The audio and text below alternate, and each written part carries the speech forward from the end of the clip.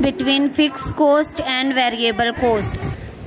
Difference between fix cost and variable cost बेटा fix cost और variable cost का जो डिफरेंस है, वो हमेशा शॉर्ट पीरियड में ही रहता है।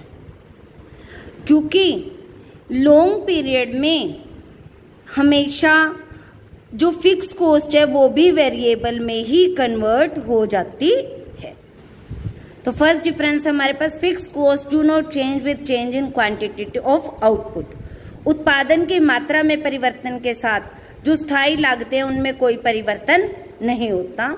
जबकि variable cost change with change in quantity of output जो वेरिएबल कॉस्ट है, उनमें उत्पादन की मात्रा के साथ साथ परिवर्तन होता रहता है।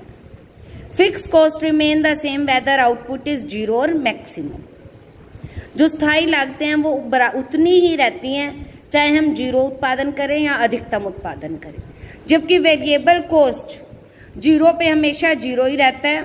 And these cost are increases when output increases and decreases जब हम उत्पादन बढ़ाते हैं तो वेरिएबल कॉस्ट भी बढ़ जाती है और जब हम उत्पादन कम करते हैं तो वेरिएबल कॉस्ट भी कम होती चली जाती है।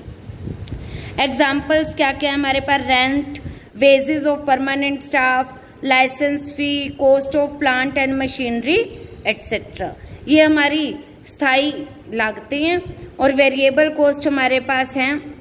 कॉस्ट ऑफ़ रॉ मटेरियल कच्चा माल है, जितना हम उत्पादन बढ़ाएँगे, अधिक मात्रा में लेना पड़ेगा। वेजेस ऑफ़ कैजुअल लेबर्स है, जो हमारे प्रतिदिन काम करने वाले लेबरर्स होते हैं। एक्सपेंसेस ऑन इलेक्ट्रिसिटी इलेक्ट्रिसिटी के खर्चे हैं। तो ये हमारी स्थायी लागतों में और अस्थाई या वेरिएबल लागतों में अंतर पूछा जा सकता है टू मार्क्स में या थ्री मार्क्स में क्वेश्चन आ सकता है एग्ज़ाम में।